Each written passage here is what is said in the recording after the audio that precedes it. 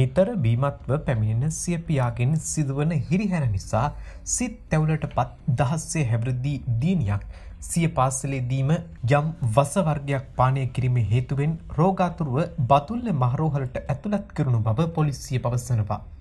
Haliela police බල ප්‍රදේශයේ පදිංචි මෙම දැරිය හාලියල නගරස්සන්නේ පිහිටි ප්‍රසිද්ධ පාසලක අපොස සාමාන්‍ය පෙළ පන්තියක ඉගනුම ලබනවා.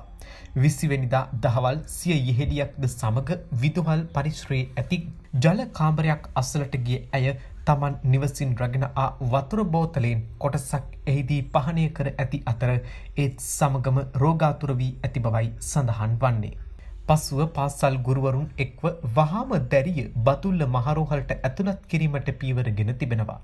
බීමත්ව නිවසට පැමිණෙන සිය පියාගෙන් තමන්ට සහ තම මවට සිදුවන හිරිහැර නිසා ඇති වූ සිත් ඇවුලින් තමන් වසපානය කළ බවත් තේවගාවට යොදන යම් විෂ රසායනික දීරයක් මෙසේ වතුර බෝතලයකට දමාගෙන පැමිණි පානය කළ බවත් සිසුවිය පවසා ඇතැයි සඳහන් වනවා.